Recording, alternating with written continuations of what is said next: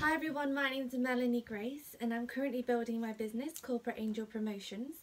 Um, slightly different this video today because it's a message to the young entrepreneurs. Um, I'm currently a young entrepreneur myself and still finding my way and um, getting more successful each day but working incredibly hard so um, and I know how difficult it can be, I really do. So um, first um, a bit about myself. So um, you know, all through school I was just an average student. Actually in secondary school um, I needed help, so um, had extra tutors. It wasn't very clever. Um, my dad passed away, um, lost quite a bit of weight, and then finally when I finished, I finished with good grades, managed to pull myself through it and did okay. Um, then I went on to college where I achieved three A stars in business management just because I felt like I found my way and I absolutely loved it. So um, I just pushed so hard and it, you know it really paid off despite all the um, pressure before.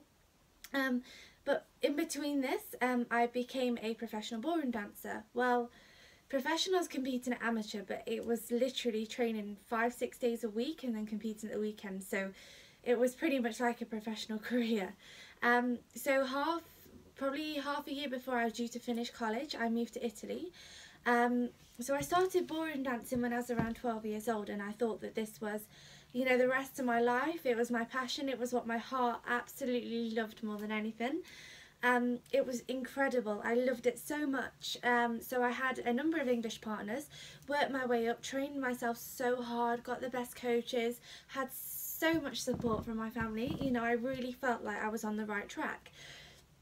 So I found a partner in Italy. I managed to go to Italy and I was there in a total of three years, managed to become the um, Italian youth champion in ballroom dancing and also uh, that was in under 21 and then also we were a semi-finalist in um, the British so I was getting really good results and things were going well we had the best coaches we had the best live it was fantastic but unfortunate events happened in Italy um, with my partner and I sort of felt like it wasn't the right thing. So I got out of that situation and then I got a job at Chrisanne Clover which is in one of the best um, well in my eyes the best um, ballroom dressmaking company in um, in the world. And then um, so from there I always had a passion for designing dresses so I started to design them, get a feel for them, and went to the interview and basically had no experience but I trained myself prior and um, always loved designing my own dresses so I thought hey I can do this. So um, yeah so I got the job. So I was back in England for a while while searching for my next ballroom dance partner. This um, was when I designed this gorgeous dress right here which is absolutely beautiful, one of my favourites a bit of gold underneath. um, so then I got my second partner um, who was from Poland. Um, I thought, you know, this guy is an incredible dancer. I'm sorted now. I can really get back on my feet. Everything's going so well. Um, you know, training's going to be amazing. Um, and then all of a sudden, um, three months down the line, he, we decided it wasn't working and he'd had circumstances as well and he thought that no, it just wasn't happening. So there I was again without a partner, thinking that, you know, I'm training everything for this and it's just not going right. Now, all through this, this these circumstances, everything that's happened, I always had something in the back of my mind that I really had a passion for business. Now, business, um, I mean, I obviously I studied, but my family have always owned their own businesses and I've seen them having their own lives, being in charge of what they do when they want and being really successful. So I was thinking, you know, that's that ultimately was always in the back of my head.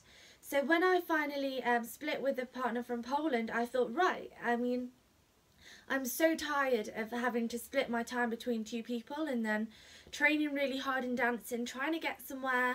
And hey, some people are really lucky, they find their long life partners in this industry. It's, it's fantastic. I can't I mean, the feeling it gives you when you're on the floor, it's amazing. I love dancing with all my heart, but unfortunately for me, it just didn't work. So, um, yeah, so obviously I decided that I'm going to give my business a go. So I started to get experience in the events industry, um, worked for every promotion agency possible. I got experience in pretty much everywhere in London, every job you can think of, from high paid, low paid, um, leafleting to exhibitions, to conferences, to yacht shows, to autumn. I got everything, every industry, every person in that industry I made, and like I, I ensured I knew everything about. Now, this is my first tip for young entrepreneurs. Make sure you know your industry. I mean, I I obviously had the background of dancing, which gave me a really a really good base to know that hard work pays off. You need to train, you need to put in the hours, and nothing comes easy. I think you know everyone has that in their mind but it, it's how deep it goes. So that was really um that was really something that I, I, I felt like it was a good solid ground base that I knew what was going on I knew what was happening. Um and then from there um I think it was two years on I developed corporate angel promotions which is my business now which I provide event models and hostesses to the luxury sectors. Um so I've got a lot of great clients. Things are going really well. I've got a team of 14 girls on the books now, which are excellent. And um, obviously this was not just out of the blue. This was a really big journey. And um, I can honestly say um, quitting dancing was was the hardest decision of my life. I mean, even now I don't consider myself quit. It's still in the back of my head like things are going on. And um, in fact, this dress that I designed here, I, I didn't actually get to wear. Um, so this is kind of why I'm never selling it and it means so much to me. Um, it, I mean, it's like implanted in my heart.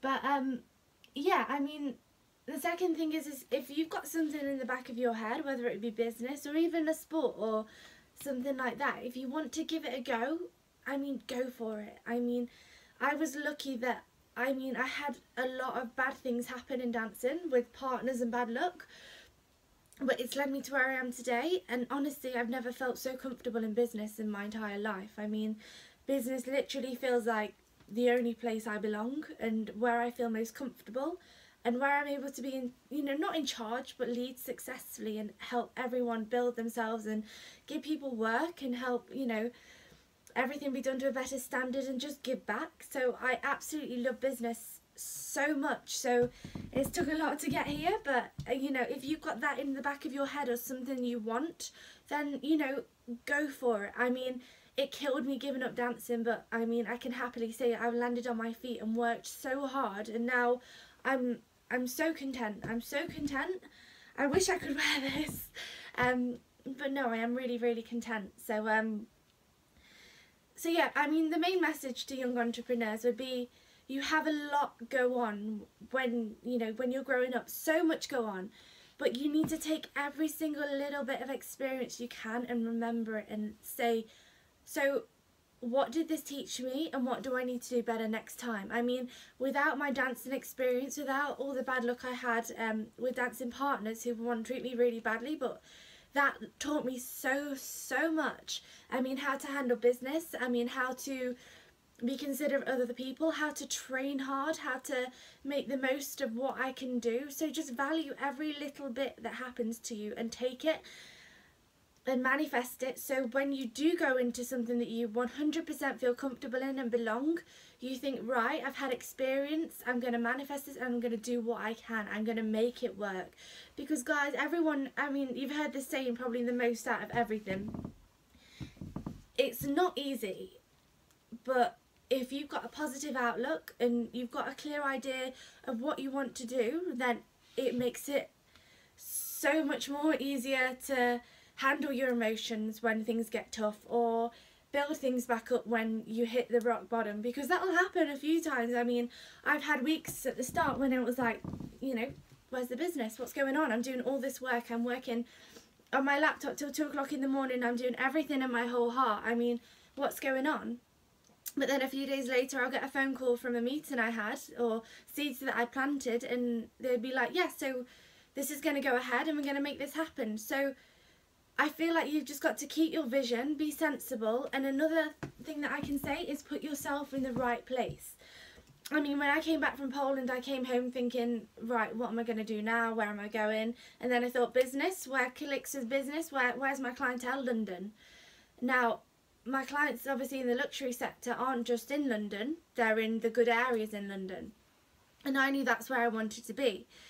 So, um, so basically I spent my time looking, I thought, right, I just want to get myself there. Within a week, I found a flat in Chelsea, which obviously a lot of rent, but I was like, right, I'm just going to make it work. So I'm happily there now, still making it work, still building my business every day and still knowing that I'm on the right path after all the crap that I've been through. So um yeah, so every day guys, even if you're not in a good place right now, get to know yourself, get to know how you're feeling, how you react to things, really listen to your body and mind and know that you know, just keep heading towards what you want. Don't be like, oh, well, this is comfortable, this is okay, because dancing to me was comfortable. I did it since I was 11 years old. It was where I felt at home. It was like, I know the industry, I know the competitions, I know the people, I know what I'm doing. Um, but at the end of the day, that didn't happen. It didn't work out, and everything happens for a reason. Well, that's my outlook on things. So, if you're a young entrepreneur, I hope you've enjoyed my story, but please just have the guts to make the jump and just listen to yourself when you're happy and when you're not. And I feel like the biggest thing in business for me is the fact that I felt comfortable and I know my industry and I know what's going on. So just make sure you know what's going on. Don't go in blindsided and don't be naive or silly. Um, just have knowledge, guys, and um, just take it take it seriously, but have fun.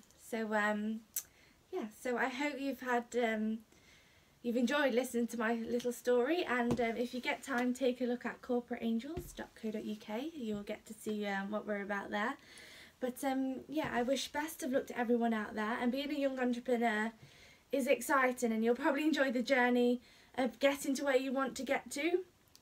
So much but just don't you know walk around with your eyes closed actually enjoy it enjoy every meeting enjoy every lesson enjoy just take it all in guys and um, know that everything will be fine. So um, thanks for listening guys and um, best of luck.